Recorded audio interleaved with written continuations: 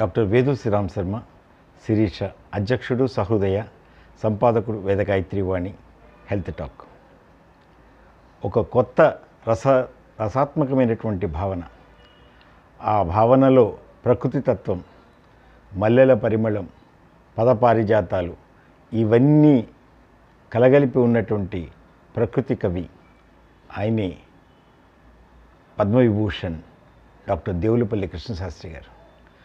Doctor Devulapalli Krishnasastri గారి ఆ స్మరణీయమైనటువంటి ఈ దినోత్సవం నాడు ఆయన భావకవిత్వంలో ఒలలాడుతూ ఆయనకి సహృదయ అక్షర నీరాజనం అందించడం మన యొక్క విధి. ఎందుకంటే కవిగా ఎప్పటికీ కూడా చిరస్మరణీయుడుగా ముఖ్యంగా ఆయన ఒక గోదావరి గలగల్లా అనిపించినటువంటి గోదావరి కవి. కానీ జయ జయ ప్రియ భారత జనయిత్రి దివ్యదాత్రి అంటూ ఒక విశిష్టమైనటువంటి దేశభక్తి ప్రబోధితమైనటువంటి నిజానికి అది పిఠాపురం రాజా కళాశాల ఆయన పనిచేసి ఉన్నటువంటి ఒక విశిష్టమైనటువంటి రోజుల్లో ఆయన పంతొమ్మిది వందల ముప్పై రెండు నుంచి నలభై ఒకటి వరకు ఆ కళాశాలలో ఉన్నప్పుడు ఆ విశిష్ట గేయంగా అది కళాశాల గేయంగా తర్వాత ని- నిత్యం పాడుకుంటున్నారు నేటికి కూడా. అంటే అందులో ఉన్నటువంటి అప్పుడు ఆ స్వాతంత్ర ఉద్యమానికి ఒక రసస్ఫూర్తిని కలిగించినటువంటి గేయం. నిజానికి అది ఒక జాతీయ గీతం కావాల్సినటువంటి గేయం. అది ఎప్పటికీ కూడా దేశభక్తిని ప్రబోధితమైనటువంటిది రసాత్మకమైన భావంతో నిండినటువంటి ఆ గేయంలో ఎప్పటికీ కూడా దేవులపల్లి కృష్ణశాస్త్రి గారి చిరస్మరణి ముఖ్యంగా షెల్లీ ప్రభావం కానీ ఠాగూర్ ప్రభావం కానీ ఇవన్నీ ఉన్నా కూడా అవన్నిటికంతా ఒక ఎత్తు ఆయన యొక్క పదచిత్రంలో. ముఖ్యంగా ఆయన కవిత్వాన్ని ఎప్పుడు ఓరవసి కృష్ణపక్షం ప్రవాసము ఇవే చెప్పుకుంటాం కానీ మహతి గేయ సంపటి కానీ ఇవి చెప్పుకుంటాం కానీ ఆయన వచనం కూడా చాలా విశిష్టమైనటువంటి పదంలో ఉంటుంది. అది నిజంగా చెప్పాలంటే ఆ వచనం అందరినీ కూడా కదిలించేటువంటి ఒక ఎందుకంటే ఆయన మంచి వక్త కూడా కనుక ఎన్నో ప్రసంగాలు ఆకాశవాణిలో పనిచేసినప్పుడు ఎన్నో ప్రసంగాలలో అందరినీ కూడా కదిలించి రసాత్మకమైన భావాలలో ఓల్లాడించినటువంటి విశిష్ట కవిత్వం. అంతేకాదు ముఖ్యంగా ఆయన చెప్పుకోవాల్సింది ఏంటంటే మనకి కొత్త కోవిల ఆ కొత్త కోవిల నాటిక కానీ మనకి నాలుగు దిక్కుల నడిమి ఈల కొత్త కోవిల మానవ నవ మానవ అంటూ ఒక విశిష్ట భావాన్ని నీవు నిలిచిన నిలవే కోవిల అంటూ మనకి ఆ విశిష్ట భావాన్ని అందించినటువంటి ఒక విశిష్ట భావకవి ఆయన దేవులపల్లి కృష్ణశాస్త్రి గారిని తలుచుకోకుండా మనం ఎవరు ఉండలేదు ఎందుకంటే ప్రకృతి రసాత్మకమైనటువంటి పాటలు. నిజానికి ఆయన సీతవేళ రానియకు శిశిరానికి చోటు ఇవ్వకు అని పాటలో రాశారు. కానీ వసంత కవి ఆయన. వసంతం ఉగాది అంటే నాకు ఉగాదులు లేవు నాకు ఉషస్సులు లేవు అన్నటువంటి ఆ భావకవితా చక్రవర్తి. కానీ ఉగాది భావం తలంపుకు వస్తే ఖచ్చితంగా ఎందుకంటే కొమ్మల్లో కోయిల పీల్చినట్టుగా ఆ కవి కోకిలు పలుకుతాడు. ఆ రసాల పల్లవం అయినటువంటి ఆ మధుర భావన అంతా కూడా ఆయన కవిత్వంలో వినిపిస్తూ ఆయన- ఆయన వసంతానికి అలాగే మల్లెల మాలలు. ఇది మల్లెలు విరిసిన వేళ అని చెప్పడం కూడా. అందుకనే మల్లెల మాసమా మధుమాసమా అని అనుకోవడానికి ఆయన భావ పదచిత్రంలో మనకి ఎప్పటికీ కూడా వినిపిస్తూ ఉంటుంది. కనుక అటువంటి విశిష్ట భావ కవితా చక్రవర్తి ఆయన కృష్ణశాస్త్రి గారు కనుకని ఆ కృష్ణశాస్త్రి గారి పాట ఎప్పటికీ కూడా వినివీధుల్లోనే కాదు మనోవీధుల్లో వ్యవహరిస్తూ ఉంటుంది. కనుక శబ్దం పలకడమే కాదు పాడుతుంది అనిపిస్తుంది కృష్ణశాస్త్రి గారి కవిత్వం వింటే. ఎందుకంటే మనుచరిత్ర మధువైతే భారతం అమృతం అన్నటువంటి విశిష్టమైనటువంటి భావకవి ఈయన. అంతేకాదు సమత్వాన్ని సమాజ వికాసాన్ని సంస్కరణ భావంగా అందించినవాడు. ఆయన చంద్రపాలనలో పుట్టారు. కనుక ఒక సాహితీ వనానికి నందనానికి ఆయన ఎప్పుడు కూడా ఒక చంద్రపాలెం తోటగా విరిసిన చంద్రహారంగా తెలుగు వన్నెలకి ఆభరణంగా చంద్రహారంగా మెరిసిన అది దేవులపల్లి కృష్ణశాస్త్రి గారు అని చెప్పచ్చు. నారాయణ నారాయణ అల్లా అల్లా మా పాలిటి తండ్రి నీ పిల్లలమే మెల్లా అంటూ ఒక సమభావం స్ఫూర్తిని అందించడం మానవులం అందరం సోదరులం అంటూ ఒక సమభావాన్ని రగిలించి సంఘ సంస్కరణతో పాటు తన ఉన్నటువంటి చంద్రపాలనలో యొక్క నివాసాన్ని ఒక ఆ, విద్యార్థులకు విద్యా వికాసం కోసం స్కూల్కి దానం చేసి అంతేకాదు అందులో ఒక సంస్కరణ భావం. తర్వాత ఈ హరిజన వికాసంతో వారితో సహబంతి చేయడం.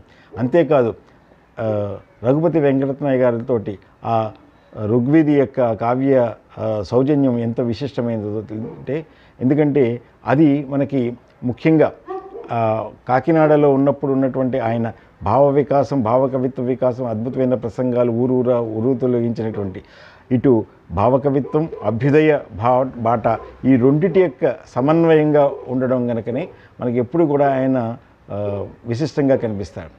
ముఖ్యంగా మనకి చెప్పుకోవాల్సినటువంటి ఆయన ఇదేంటంటే ఆకులో ఆకునై పువ్వులో పువ్వునై కొమ్మలో కొమ్మనై నునులేత రెమ్మనై అంటూ ఒక ప్రకృతి ఆలాపన ఎలా ఉంటుందో ఆ ఈ ఈ అడవిలోనే దాగిపోనా ఎటులైనా ఇచ్చటినే ఆగిపోనా అంటూ ఆ ప్రకృతి తత్వంలో ఒక మమేకత్వం ఎలా ఉండాలి అని చెప్పడానికి కనుక అటువంటి అంతేకాదు ఆయన పల్లె పదాలని రాశారు మల్లెల పరిమళాలని పలికించారు. అయితే పల్లీల యొక్క వారి వికాసం కూడా హైలెస్సా హైలెస్సా అంటూ ఒక పాటని రాయడం కానీ అంతేకాదు అంతే కా- కాకుండా భక్తి కవిత్వంలో కూడా శివశివ శివ శివ అనరాధ శివనామం చేద అంటూ శిథిలాల్లో లేడు శివుడు అన్నటువంటి ఆకవే శివపదము చేదా అంటూ అండం ఒక కొత్త రకమైన భావాన్ని తలంపుని ఇస్తుంది. కనుక మనకి ఎప్పుడూ కూడా కృష్ణశాస్త్రి గారిలో ఉన్నటువంటి విశిష్టత ఆ పదపాజాత వచన యొక్క ప్రసంగాల్లో కూడా వీధి ఎరుగు. వీధి ఎరుగు చాలా విశిష్టంగా మనకి అందరినీ కూడా ఆలోచింపజేస్తుంది. ఒక తెలుగు పల్లెకు వెలుగు దేవులపల్లి వీధి ఎరుగు అని కూడా చెప్పచ్చు మనం.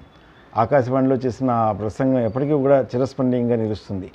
పల్లె తల్లి వంటిది పట్టణం ప్రియురాలు వంటిది అని చెప్పడంలో కానీ ముఖ్యంగా నీకేం కావాలి అంటుంది పల్లె.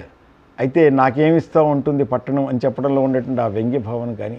అంతేకాదు పల్లె కుటుంబంలాగా సంసారంలాగా ఉంటుంది పట్టణం సంతలాగా విపణిలాగా ఉంటుంది. అంటే వ్యాపారమయమైపోయింది అంటే మనుషులు వ్యాపారమయంగా వస్తు ప్రేమికులుగా మారిపోయాడు ప్రకృతి ప్రేమి కాకుండా అన్నటువంటి వ్యంగ్యం ఆ కవులు ముందుగానే క్రాంతదర్శులుగా చూపిస్తారు అనడానికి ఆయన ఆ పల్లెవ పరిమళాలని ఎలా ఉండాలి అని చెప్పడం కూడా కనిపిస్తుంది. అలాగే సెంబైలే జోరు లంగర్ అంటూ అది చెప్పడం కానీ ఇవన్నిట్లో కూడా హైలెస్స హైలెస్స ఆకాశం ఒరిగింది ఆకడలి పొంగింది చిరుగాలి వీచింది తెరచాప ఊగింది హైలస్స హైలెస్స హైలస్సో హోయిలస్ ఇవన్నీ కానీ అంటే గోదావరి గలగల్లో కూడా ఎప్పుడూ కూడా కృష్ణశాస్త్రి యొక్క భావకవిత్వ పరమళ్ళు ఆ కోనసీమ ప్రకృతి పరవళ్ళు అన్నీ కూడా కోనసీమ కోయిలే కూసినటువంటి విశిష్టత. గోదావరి జోతలో పాదాల పాదాల జోతలో మా తల్లి గోదావరి మా లక్ష్మి జోతలో అంటూ ఒక పల్లె పదాల యొక్క అందాలని సౌరభాన్ని కూడా వినిపించేటటువంటి ఒక విశిష్ట భావకవి సినీ గీతాల్లో కూడా ఆయన నిజానికి సినీ గీత ప్రవేశం మల్లీశ్వరితో పంతొమ్మిది వందల నలభై ఏడప్పుడు జరిగిన తర్వాత తర్వాత ఎప్పుడైతే మనకి చాలా విశిష్టంగా ఎన్నో గీతాలు ఆయన యొక్క రసతరమైనటువంటిది ఆయన మనసున మల్లెల మాలలుగేనే తనువున మల్లెల డోలలుగేనే అన్నట్టుగానే ఉంటుంది. అది ఇది మల్లెల వేళి అని ఇది వెన్నెల మాసమని తొందరపడి ఒక కోయిల ముందే కూర్చుని అండంలో ఆ సుఖదుఖాలు పాటలతో ఎంత రసవత్తరంగా కరుణభావం. అలాగే నేనైతే ఆకు కొమ్మ తానైతే వెన్నెల నెల అంటూ ఎంత గొప్ప అయిన భావం. అడుగడుగున గుడి ఉంది అందరిలో గుడి ఉంది ఇది చాలు. ఆ సమత్వ భావనకి ఒక సమాజ భావనకి ఎంత విశిష్టమైనదో అటువంటి మానవతా మధురుముల్ని పంచినటువంటి ఒక మహనీయ కవి మహనీయ భావకవిత చక్రవర్తి దేవులపల్లి అని చెప్పవచ్చు. కనుక చైత్రంలో తొగరెక్కిన కొత్త కోర్కెలు శరత్తులై పైకెక్కే తీయని కళలు అంటారు ఆయన. అటువంటి తీయని కళల కోసం ఒక మల్లెల మాసం కోసం ఆయన ఎప్పుడు కృష్ణశాస్త్రి గారి కవిత్వాన్ని మనం చిరస్మరణీయంగా తలుచుకోవచ్చు. అటువంటి విశిష్ట పదజాలం ఆయన ఎన్నెన్నో పాటలు రాశారు. గట్టుకాడ ఎవరో చెట్టు నీడ ఎవరో ఆ ఎవరో తెలుసుకోవడం అదే మనకు కావాల్సినటువంటిది. కనుక నల్ల నల్ల కమల నాగసారము ఊదేను ఎవరో ఏటి గట్టు కాడ మావి చెట్టు నీడ.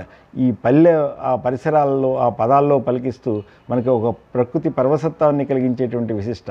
అంతేకాదు పాడనా తెలుగు పాట పరవశమై అంటూ ఆ పరవశాన్ని అందించినటువంటి విశిష్ట భావన అది కృష్ణశాస్త్రి గారు ఎప్పటికీ కూడా. అన్ ఇంకా అటువంటి ఒక విశిష్ట భావం మనకి సీతాలు సింగారం మహాలక్ష్మి బంగారం అంటూ ఆ పల్లె సింగారాలని కూడా అందించినటువంటి కవి. ప్రతి రాత్రి వసంత రాత్రి ప్రతి గాలి పైరగాలి బతుకంతా ప్రతి నిమిషం పాటలాగే సాగాలి అంటూ ఎన్నో పాటల్లో మధురిమలు ఒలికించి ప్రకృతి భావాలను ఒలికించినటువంటి విశిష్ట కవిని ఎప్పటికీ చిరస్మరణీయంగా తలుచుకోవడానికి ఈరోజు విశిష్టంగా ఆయన ఈ పంతొమ్మిది వందల ఎనభై ఈ ఈ ఫిబ్రవరి ఇరవై నాలుగు లేకపోయినా చిరస్మరణీయంగా ఆయన పదాల్లో భావకవిత్వంలో ఎప్పటికీ ఉంటారు. అటువంటి పద్మవిభూషణ్ డాక్టర్ కృ- దేవులపల్లి కృష్ణశాస్త్రి గారికి సహృదయ నీరాజను అర్పిస్తూ డాక్టర్ వేదుల శ్రీరామ్ శర్మ శిరీష.